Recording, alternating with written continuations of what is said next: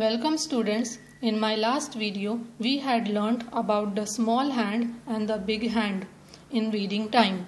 Today we will learn more about reading time. We know that the small hand shows the hour and the big hand shows the minutes. On this clock, we can see the small hand is on 3 and the big hand is on 2. Now because the small hand shows the hours, so the time is shown 3 hours and the big hand shows the minutes. So 2, the number 2 represents 10 minutes. 5, 10.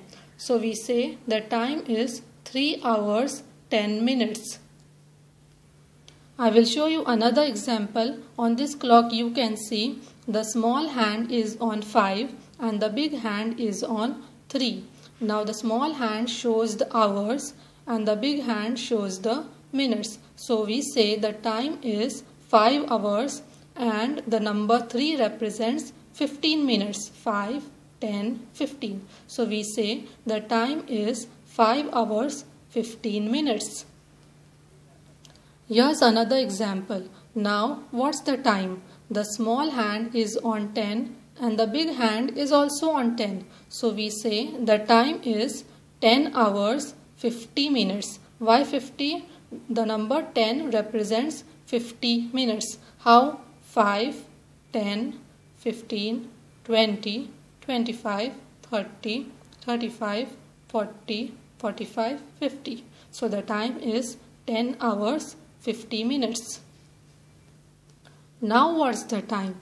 The small hand is on 10 and the big hand is on 12. So we will say the time is 10 hours or we can say 10 o'clock because we start counting the minutes after 12. The number 12 stands for 0. After 12 we start counting the minutes from this dot.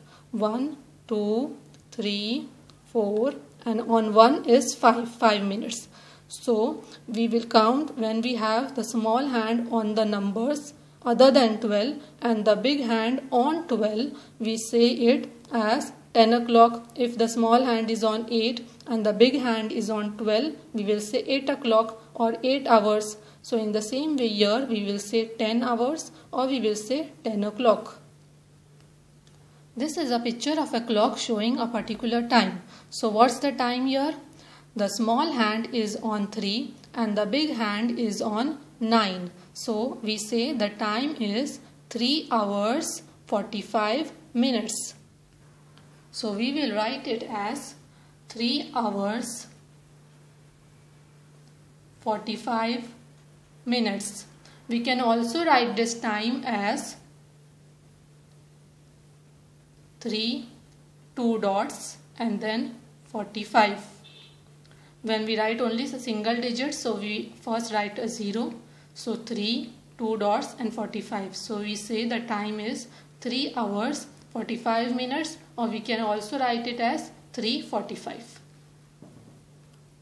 In this picture, we see the small hand is on 9 and the big hand is on 3. So what's the time? 9 hours 15 minutes. We will write it as 9 hours 15 minutes. We can also write this time as 9.15.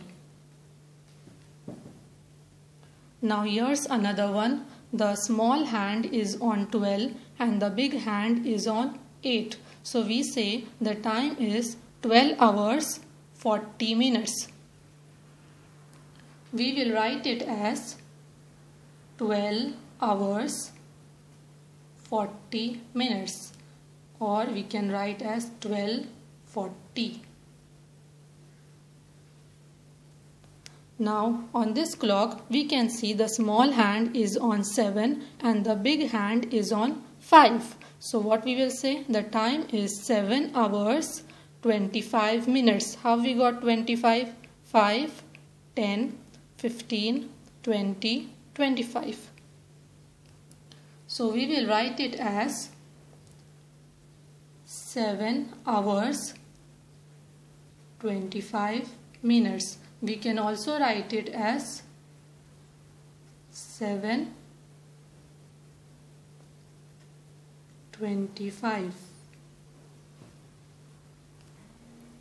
I hope you have learnt about today's session on time. In my next video, we will learn more about reading time. Thank you.